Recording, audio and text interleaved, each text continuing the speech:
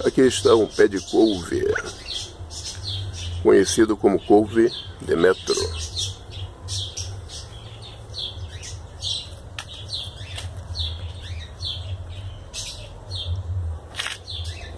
Tem bastante mudas.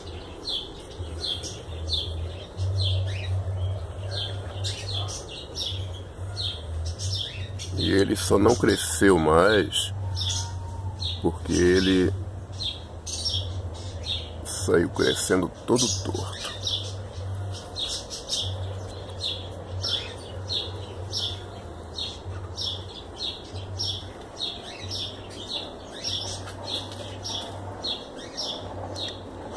Este pé de couve tem 3 metros de altura, mas ele chega a crescer mais de 5 metros. Por isso que ele é chamado de couve de metro.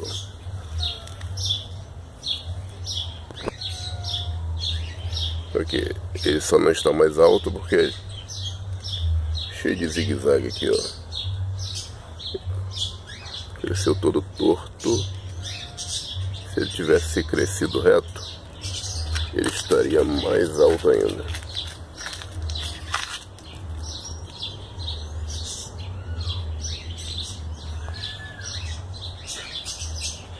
Mas ele chega a crescer mais de 5 metros de altura.